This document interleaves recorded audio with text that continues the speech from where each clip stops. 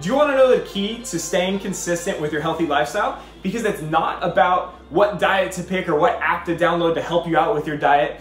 It's about your vision and your vision for where you want to be six months from now and also where you want to be one year from now. Because without that vision, you're just going through the motions. You have to know who you want to be. What are your goals? Maybe in six months you have the vision, oh, I want to be 15 pounds lighter.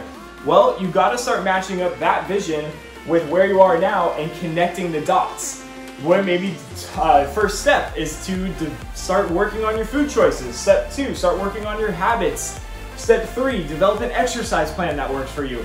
Whatever it might be, you gotta start making these different changes because that person six months from now, that person doesn't go out and eat unhealthy meals all the time. This person spends the extra time to prep their food, to go to the grocery store, to look up recipes, whatever it might be to get you to where you want to be in six months. And once you're at that six month point, you here is now where you are now. And then you can start planning out the next six months and the next six months after that for the next year so you can be uh, you can become who you want to be by staying consistent with your vision okay i hope this helps drop a like let me know what you think and uh, start implementing this today. Think of where you want to be six months from now and start connecting those dots from where you are now.